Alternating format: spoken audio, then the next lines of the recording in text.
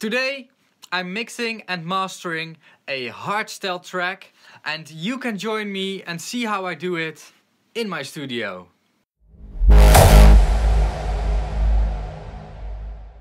I want to divide the mixing in three different parts. The intro and outro stuff, the break part and the drop part. And I want to get started with the break part. So this is the break.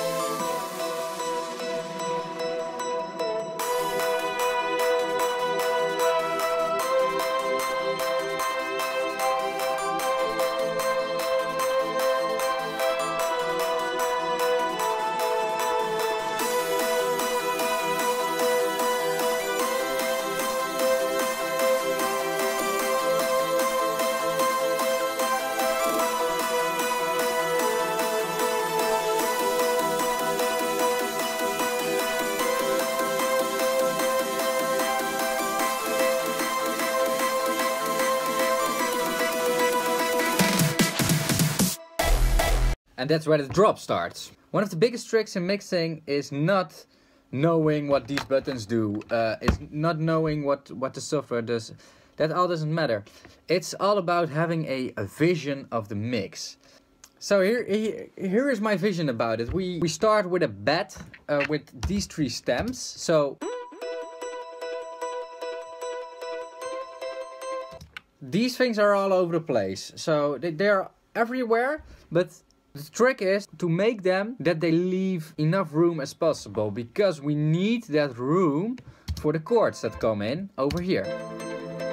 These ones. So first we're going to make room and then we are going to fill that room with mostly this. The, the of course it's there, but I'm not being blown to the back wall from it. So that's a bit of a goal we want to make for those chords. So not not but that's what we want. So then we've got an organ that comes in, which will help and will make the sound a bit bigger. And the cool thing is the producer did already filter the, the, the, the, the lead chords that he filtered off the high end. So that's also the place where the, this organ sound will take over this other thing that that thicky ticky thing will will excite us more and will get us more in the move. So it's really important that it's in there but that ticky thing can be a bit spooky. And and with spooky i mean it has to be there in a way that if you mute it that you know that it's there. And if you if you don't mute it then you feel it but you won't hear it. You won't you will hear it but you understand me. We need to still keep some room left for the melody that will come in over here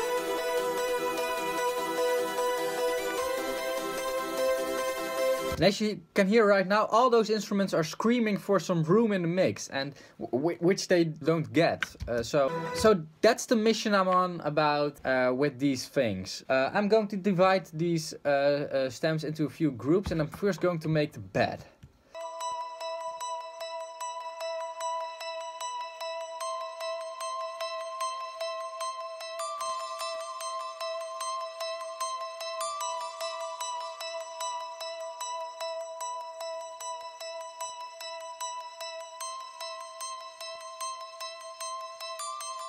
So I'm trying to make this sound a bit uh, thin, so it won't clog up the room. This one can take a bit more room, and I only want it to take room in the mid. So I'm also cutting out the sub lows. It's not really much in there, as you can hear. Really a tiny bit. And then we're going to 1 kilohertz for some definition. And a bit of also a bit of air because we need air. We need air. Air like that. Okay. And also a bit of fatness. Okay? the last one.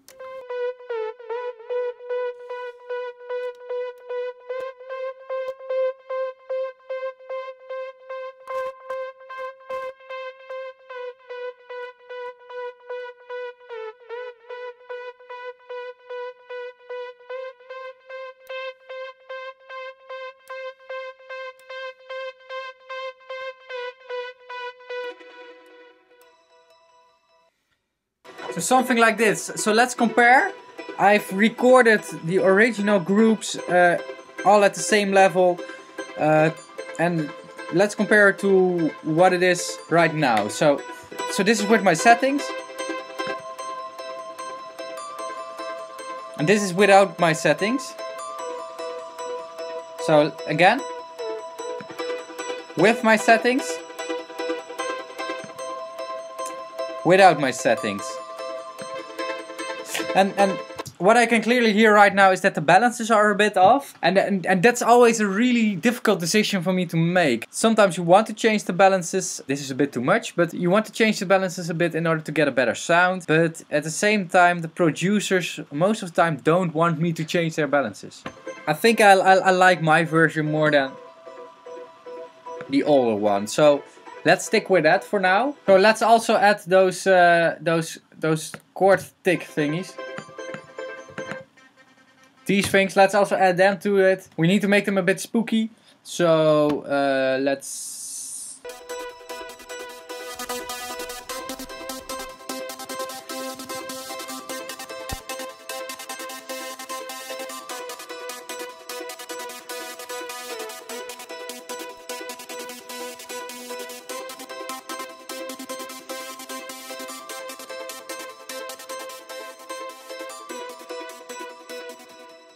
like that. That, that was my idea of it. So having it really quiet and, and a bit far away in there, not taking up too much space. So let's bounce this back into Pro Tools, move on to the more melody, melodious part of the track. So, so we've got three elements that take the front seat uh, after each other. Let's first do those chords. So, sounds like shit right now.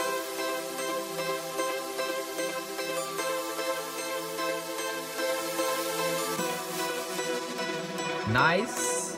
It sounds a bit out of phase. Let's see what the meter says. Yeah.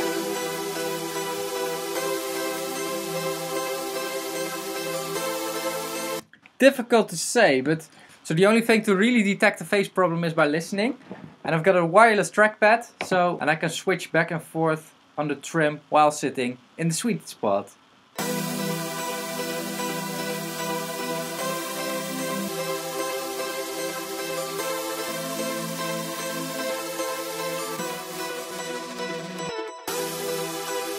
I don't know if you're listening with headphones, but I think you can clearly hear that you will get a bit sick when I switch the phase. So that was clearly out of phase, so right now I'm inverting it. So there it is.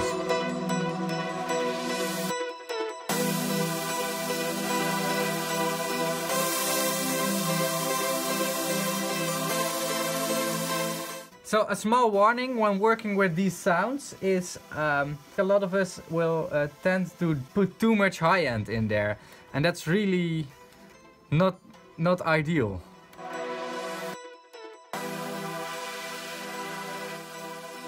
It's really like looking for the correct mid frequencies. Like that. And then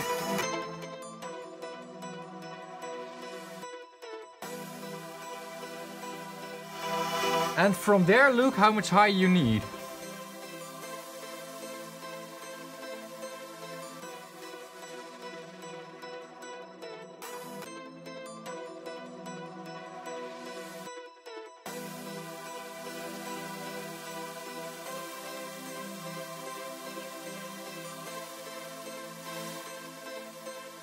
So I think I will dream about this uh, uh, during the night because right now I'm, I'm not sure if, if I'm going in the right way. But so what I'm doing in these situations when I'm not 100% sure, uh, I move on. Don't stay at one sound for too long. So let's also enter the uh, the organ into the mix. So this organ is also a, a difficult story. It is telling a story, but it doesn't want to be up front. It's not a sound that wants to be over here. It wants to be a bit more in the back, but it still wants to tell its story.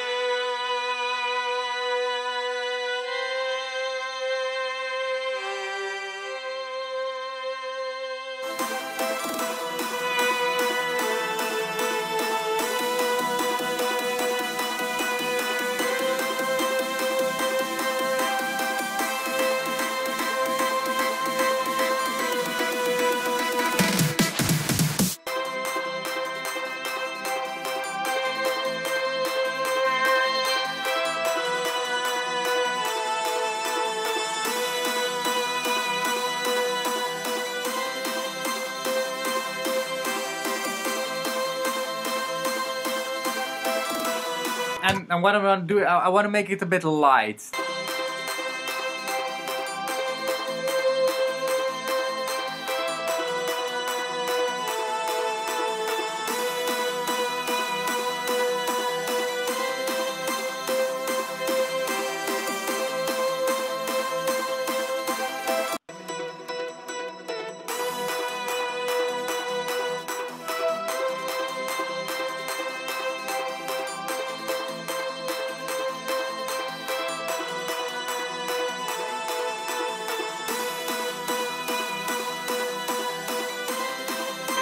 And then of course the, the, the main melody um, arpeggio comes in which I want to run through some things. Uh,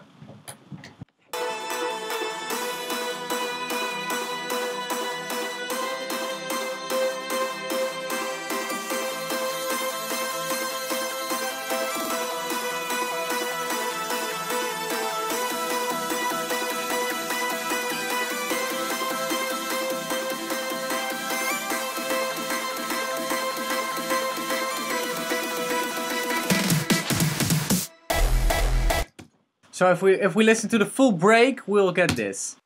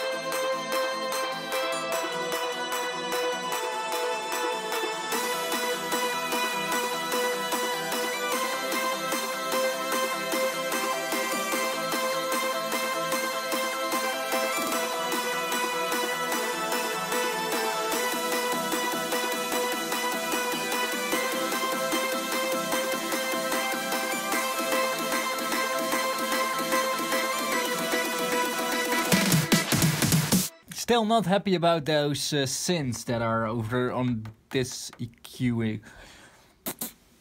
Well, maybe there is a way. There just has to be a way.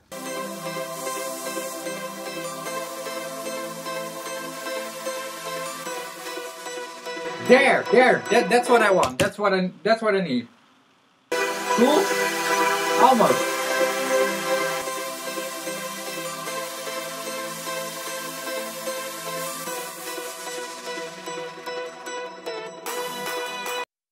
Let's keep it like that for now. Cool. So let's bounce this back into Pro Tools and then move on. And I just saw the time and I'm going to take a break for today and I'm back tomorrow. So let's continue on the next day. And back, back at the studio. So let's work on the drop. So a hardstyle drop isn't really rocket science. We've got a kick and a lead melody and they both need, need to take up the same amount of space. They, they need to be woven together. So we got two different drops. We got drop number one, which is... And we've got drop number two, which is more melodic. Forever. And in here we are switching the kick also. That's going to be a bit of a challenge. So let's first work on the first drop and then do the second drop and then connect everything together. So uh, I will advise you to listen on big speakers or on headphones to hear this because the producer of this track, Mauritz, also layered the kick with a sub bass frequency line thing. It's pretty sub bass. It's it's so low that I almost don't know if I need it. Okay, so let's first wave these two together and let's see if we can get a get a tight sound from these. What I'm going to try right now is push it through my analog tape machine and see if it will get any richer or better or not. If it doesn't, then I'm not going to use the tape machine. But for now, let's pull it through the tape machine. Okay, so let's turn the machine on. Um, we are running on high speed I think that will give the best result. Low speed will cut off the high frequencies. So that's cool. Let's uh, wind it like that and let's keep it running. And right now, it's really just, let's see what happens. It's always experimenting, so... Wow. I already like it. So first thing before I'm going to start EQing, we are on bypass right now. I'm first going to try and drive it a bit more through the tape machine. So I'm pulling back my output and I'm pulling up my input.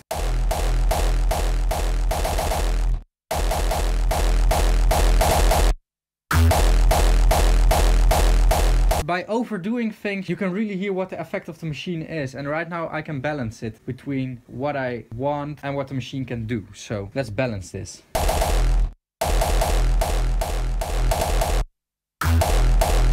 So just a tiny bit of tape machine. Let's also add some bit of high, bit of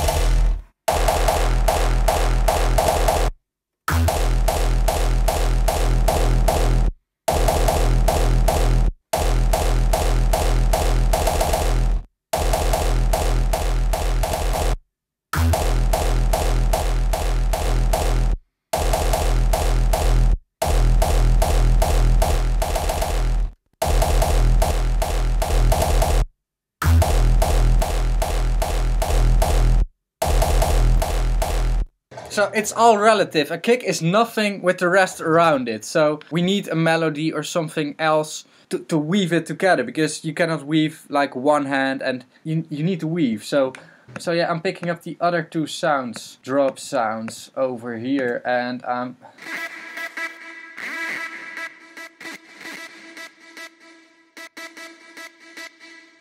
Let's EQ some things in this.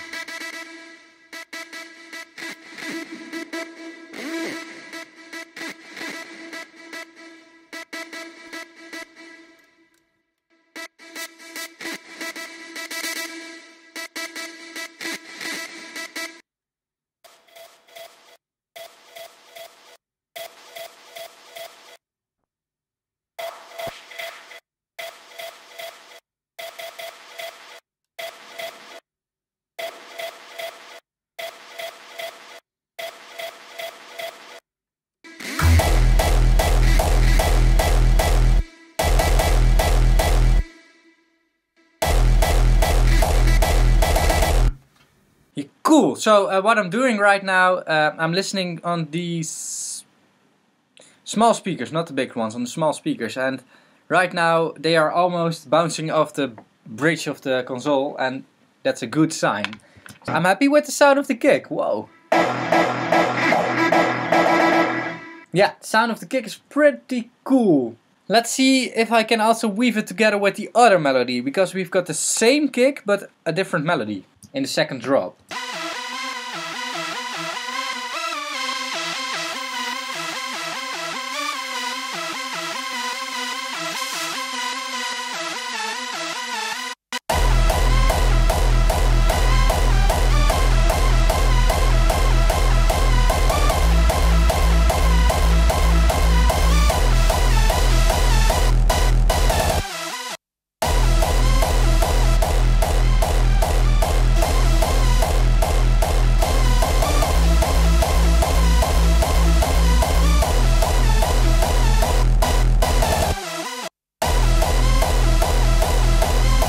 Right now I'm thinking to adjust the kick a bit. So what, what I wanted to do is uh, adding some highs to the kick, but I can also remove some highs from the drop synth because in the other section it already was good. So.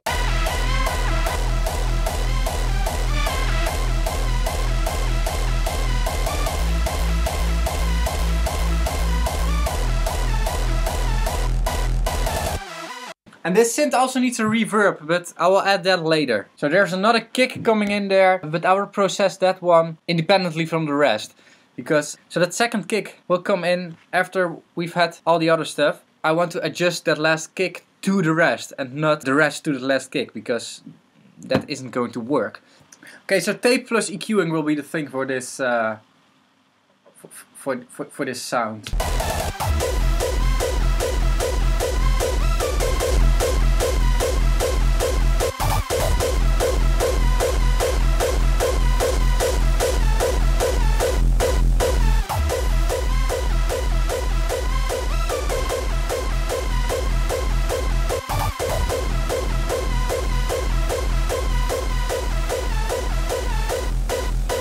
You know, it's, it's a really simple trick. What I do, uh, I make the loop in such a way that I can hear the old kick and the new kick together. So I know where to connect them and I can immediately hear where things are going wrong. And right now they are actually already connected. That I think that it's because I'm using the same processing on them both. That is pretty cool. And that means that we have both the break and the drop settled and we can now start working on all the details. Okay, so we just moved forward in time. I just did the details by myself. It really wasn't interesting at all. Uh, it were simple things, a reverb here, a leveling there. Um, not something I thought it was worth sharing. I, I, I don't want to waste your time any more than I'm doing right now with this long video.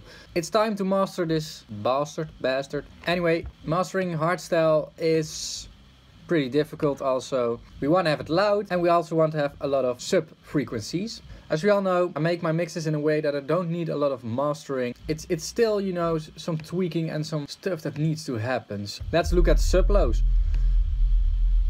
So one of my tricks is that to, to in hardstyle is to make the sub lows really tight. So so don't make the band too wide because then you will also have some other bullshit in there. And uh, we really only want to attack the, the, the real sub frequencies.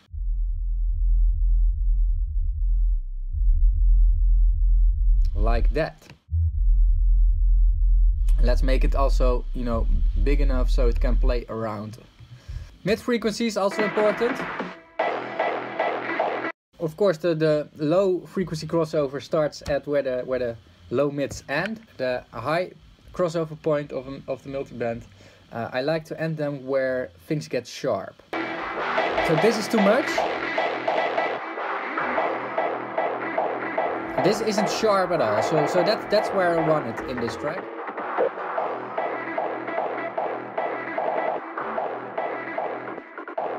So this way I can control the sharpness in, in you know a single band in the in the multiband.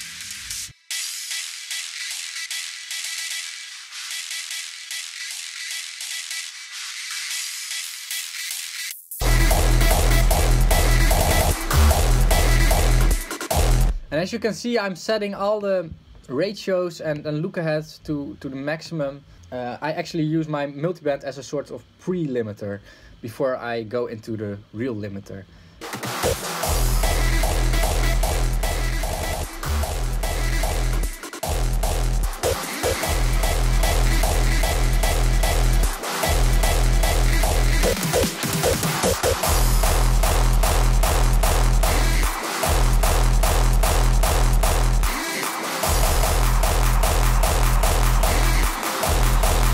The interesting thing, this makes it clear that that drop synthesizer is a bit too loud. So I'm turning it down over here.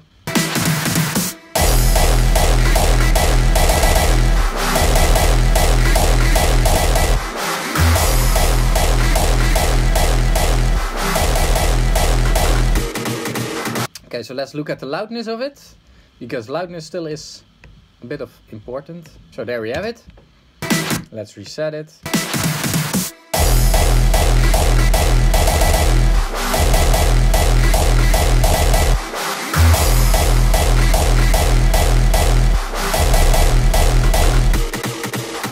Because I just lowered that synthesizer, I think I can turn up the volume of the of the uh, mid-high frequency band.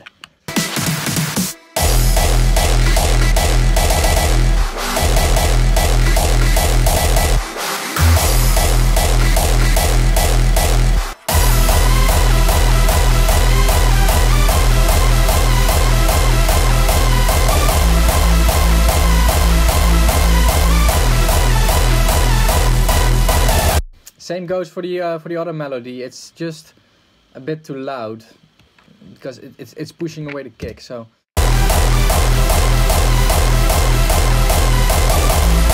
And another cool thing to do is just uh, sidechain it a bit, so so we can make some room for the kick. Because right now it's it's a mess, as you can hear, and we need to solve this. So we are, you know, doing like buzz, three, three, bam, bam, bam, bam. Bam, bam. Let's first listen to it.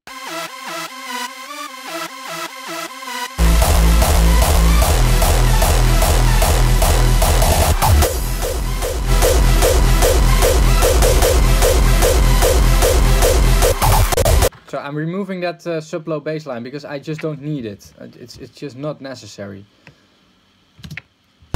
We've got a small distortion thingy, but I, I need to see where it comes from.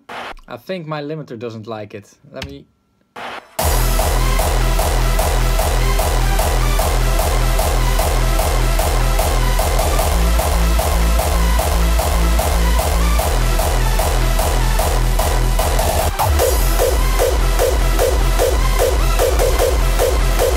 Yeah, something like this. Okay, so I'm, I'm starting to smile. That's good. Sorry. Let's listen over here on the small speakers.